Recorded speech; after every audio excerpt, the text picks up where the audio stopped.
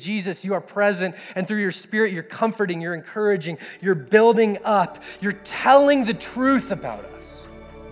You remind us you're my children, you're my son or my daughter whom I love, who I paid for, who I care about, that you are the redeemed. I rejoice over you as singing. Your names are engraved on the palm of my hands, and all the junk in your past I paid for. It's gone, it's done, it's finished. It was all nailed to the cross, every single last bit.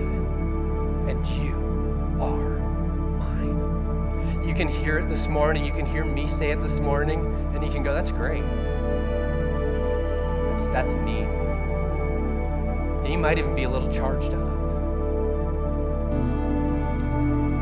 But if you carve out the time, and you carve out the quiet, and you position your soul rushing river of the grace of God that's pouring towards you, and you hear Him say it instead of me,